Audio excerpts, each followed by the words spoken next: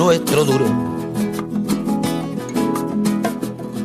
Lo que duran dos peces de hielo en un whisky on the rocks. En vez de fingir o estrellarme una copa de celos, le dio por rey. De pronto me vi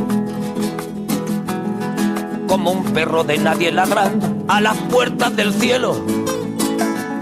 Me dejó un neceser con agravio, la miel en los labios y escarcha en el pelo. Tenía razón. Mis amantes, en eso de que antes el malo era yo, con una excepción. Esta vez yo quería quererla querer y ella no, así que se fue. Dejó el corazón en los huesos y yo de rodillas.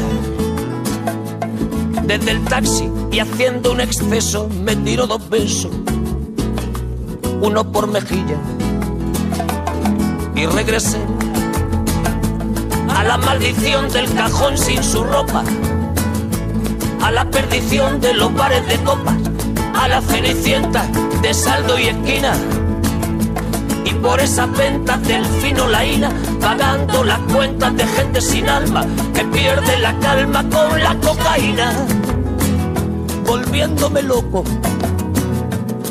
Derrochando la bolsa y la vida, la fui poco a poco dando por perdida. Y eso que yo, para no agobiar con flores a María, para no asediarla con mi antología de sábana fría y alcobas vacías, para no comprarla con bisutería, ni ser el fantoche que va en romería con la cofradía del santo reproche. Tanto la quería que tardé en aprender a olvidarla. 19 días y 500 noches. Dijo hola y adiós. Y el portazo sonó como un signo de interrogación. Sospecho que así se vengaba a través del olvido, Cupido de mí. No, no pido perdón para que si me va a perdonar, porque ya no le importa. Siempre tuvo la frente muy alta, la lengua muy larga y la falda muy corta. Me abandonó,